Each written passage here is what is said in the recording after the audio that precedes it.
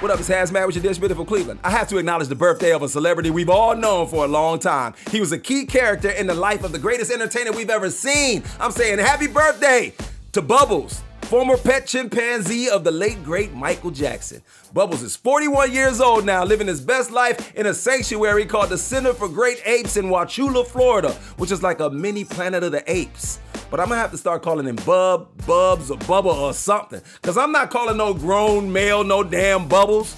Being the former pet of the King of Pop, I wonder how he feels about the name Mike gave him. You think if you visit that mini planet of the apes and call him Bubbles, he'll tell you to beat it? Remember when that picture surfaced of Shaq hugged up, palming the booty of some young 21 year old in a bikini? Well, Shaq decided to troll Drake by photoshopping Drake's face over that young lady's face. He Shaqed the fool with that one. My first thought was no Diddy. Or in this case, I should say, no BBL Drizzy. This has been HazMatt with your Dish from Cleveland.